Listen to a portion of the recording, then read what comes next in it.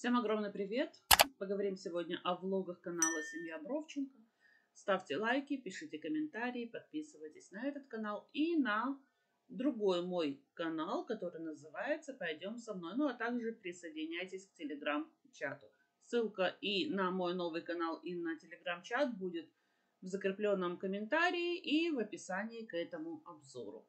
Ну, а Бровченко продолжает заниматься какими-то отделочными работами.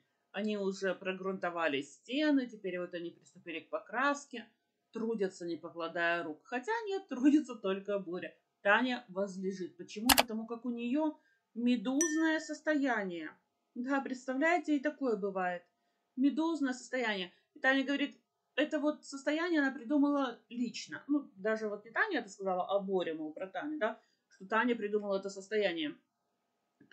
Мол, когда расплющиваешься или расплываешься по кровати, и вот прям как желе, и температура тела понижается. И такой вот анабиоз получается, да?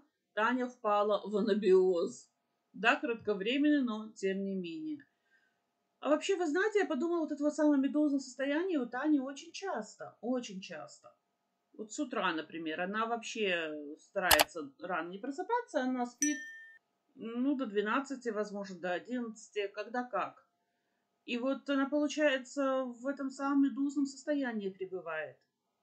Ну так ведь она распласталась по кровати, температура тела понизилась. Все по-честному. Какой-то кошмар. Вот для своей лени Бровченко даже какое-то только им известное состояние придумали. Представляете, они оправдывают свою лень всем чем угодно.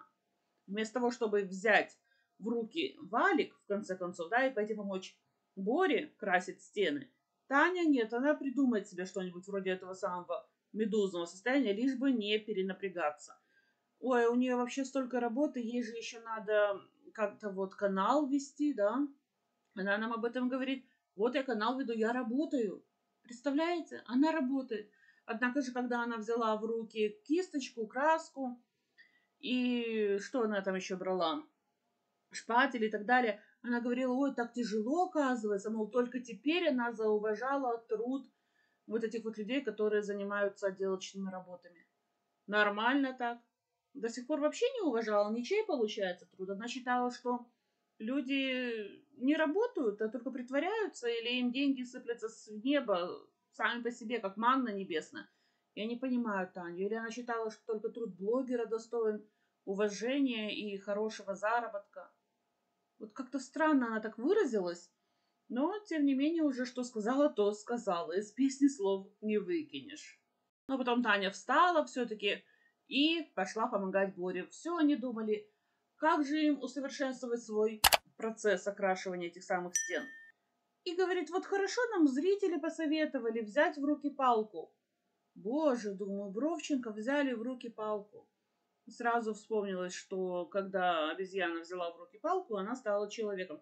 Так вот, зрители практически заставили Бровченко начать процесс эволюции и потихонечку эволюционировать в людей, в прямоходящих. Хотя, вы знаете, прямоходящие вряд ли получится им прямо ходить, прям вот с гордо поднятой головой, с ровной спиной у себя на втором этаже. Там такие коморки, там надо три погибели согнувшись ходить, иначе не получится. Особенно меня радует туалет. Туда надо заходить пятясь, сразу садиться, тут же вот э, по завершении процесса, да, точно так же, не разгибаясь, вот так вот сделать шаг или два вперед и выйти из этого самого туалета. Условия, конечно, атасные. Кстати говоря, на втором этаже у Бровченко прекрасно все. Начиная от высоты потолков, которая очень низкая высота, да, и заканчивая размерами комнат. Оказывается, комнат изначально вообще предполагалось на одну меньше, но дети сказали, нет, мы хотим, чтобы у каждого была пусть и маленькая, но своя комната. Но опять же, как это так получается? Если у каждого маленькая, но своя, тогда почему трое младших детей ютятся в одной комнате? Младшие дети не дети или как это понять? Но Таня надеется, что дети выпорхнут из родительского гнездышка, и комнаты старших детей, которые выпорхнули, займут вот эти самые младшие дети, которые ютятся в одной комнате. Представляете, это какая ненависть между детьми взращивается самими Бровченко. младшие будут желать скорее того, чтобы старшие скорее уже съехали из этого дома. А куда они съедут? Ну, разве что куда-нибудь учиться, чтобы там было общежитие, а иначе куда? Ну, мальчишки, возможно, в армию, да, об этом говорили в телеграм-чате. Ну, Аня, ну не знаю, куда Аня. Ей бы учиться, действительно куда-нибудь пойти. Но опять же, с их знаниями, с их семейным обучением, с их семейным образованием, вряд ли она сможет учиться. Да и мальчишки тоже вряд ли смогут продолжить обучение. Потому как те знания, которые они получили, ну да, это все-таки липко. Кстати говоря, Таня так еще и не начала учебный год. Вроде как вот 1 сентября, год учебный должен начаться, и дети должны пойти каждый в свой класс, но этого не происходит. Вроде как Боря маленький уже в первый класс должен пойти. Но опять же, Таня молчит на эту тему. Боря ходит с наклейками какими-то, одну наклейку себе на лоб нацепил, как-то вот нос разрисовал себе красным фломастером или маркером, чем он там себе разрисовал. Ходит счастливый, довольный, но его ничего не тревожит, и это нормально, он ребенок. Тревожить и заботить должно родителей. А родители не чешутся. Родители распластались на кровати, как желе, и счастливы. А еще родители придумали использовать малярный скотч почему-то не по назначению. Если у них и стена, и потолок одним цветом окрашиваются, то для чего они оклеили малярным скотчем стык между стеной и потолком? Непонятно. Потом поняли, что зря это сделали и убрали малярный скотч. Гениально. Я вот подумала, лучше бы они вдоль стен оклеили бы пол этим самым скотчем малярным, чтобы какая капля той краски капнет, чтобы она осталась на этом скотче, а не въедалась бы в эти самые ДСП, ну или из чего у них там пол состоит. Правильно написали в телеграм-чате. Малярная лента хороша, когда два цвета или три цвета или более цветов, да? А так, когда один цвет, ну что от чего защищают Бровченко? Один бежевый цвет от другого бежевого цвета. Ну, как-то вообще непонятно было и странно это все. Ну хорошо, сообразили и сняли этот скотч, уже хорошо. Про краскопульт тоже зрители Бровченко напомнили. Представляете, зрители лучше Бровченко знают, что у них есть, а чего у них нет. Где это видано? Ой, кошмар какой-то. И вот Бровченко вспомнили, подача зрителей, что у них есть этот самый краскопульт, и сказали, да, теперь нам будет проще. Теперь взяли палку, на палку насадили валик, теперь будет еще и краскопульт у них, и дела пойдут гораздо быстрее. Ну, посмотрим, посмотрим. Паша попросил Таню его постричь. Таня и постригла. Как могла, так и постригла. На лысо. Мол, не получилось так, как она хотела изначально, а потом уже исправлять уже было нечего, поэтому решили проблему радикально. На лысо постригла Таня Пашу. Какой ужас. Грядут холода, а Паша лысый. Но Таня говорит, ничего, сейчас буду стричь Тимофея. Тимофей на очереди. Я так думаю, что прически Паши и Тимофея будут одинаковые. Но Таня заявила, что, мол, Потом, когда волосы отрастут, мальчишки пойдут в парикмахерскую. А что, сразу не судьба была пойти в парикмахерскую? Или Таня пожалела денег на парикмахерскую? Или как это вообще понять?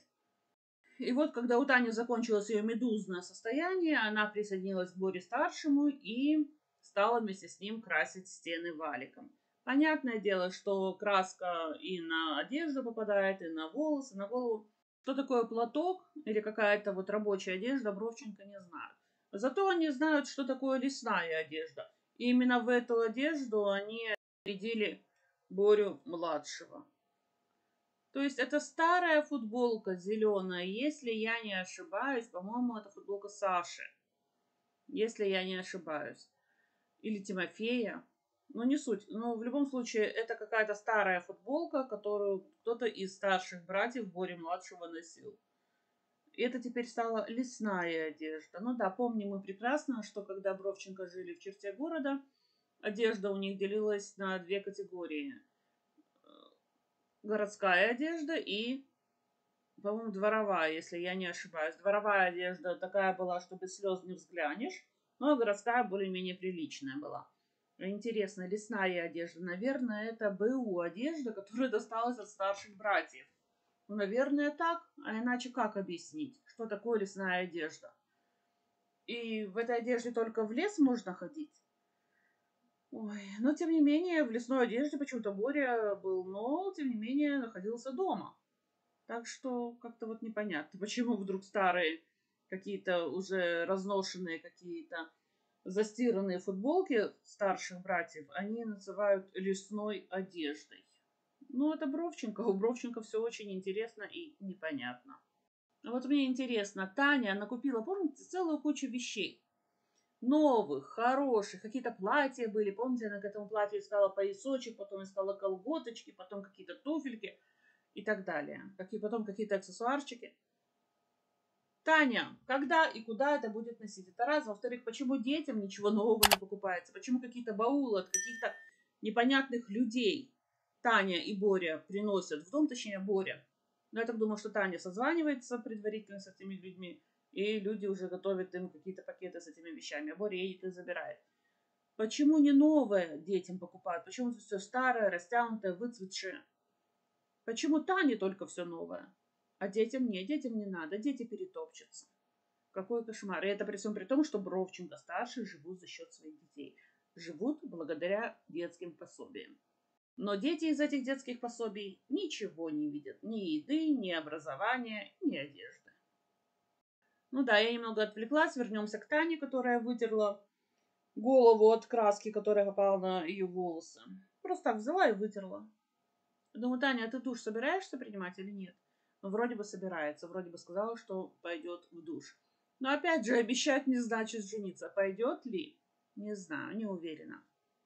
Это же Бровченко, от них все можно ожидать. Напишите свое мнение в комментариях, как вы считаете, пойдет Таня в душ, не пойдет, будет она тот душ принимать, не будет Боря после этих самых работ, будет принимать душ или не будет, или прямо так вот и лягут те самые постели, которые у них расстелены на полу, не помывшись. Ну, почему бы и нет? У них есть теперь стиральная машина, есть сушильная машина, все есть, все замечательно. Хотя Таня говорила, нет-нет, мы детей только чисто им пускаем теперь в постель. Мол, только дети им пачкают постели, якобы. Ага, только дети. Конечно, дети у вас виноваты во всех бедах. Да, ужас какой-то. Вот они родители, я даже не знаю, как их назвать. Бровченко-старший в чужом глазу соринку замечают, а в своем глазу бревна не видят. К сожалению. Вот таким получился у меня обзор. Ставьте лайки, пишите комментарии, подписывайтесь на канал. Всем пока!